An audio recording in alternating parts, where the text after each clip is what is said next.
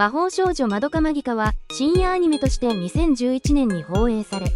瞬く間に話題となった大人向けアニメの代表作です。魔法少女という一見可愛らしいジャンルを逆手に取りダークでシリアスなストーリー展開が視聴者を魅了しました。特に中学生の主人公たちが体験する絶望や葛藤を書くことで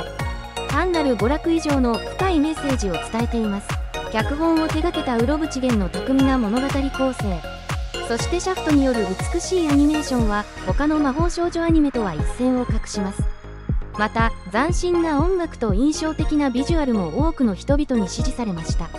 魔法少女まどかマギカは大人の視聴者にも見応えのある深い作品でありアニメの枠を超えた芸術作品として評価されています。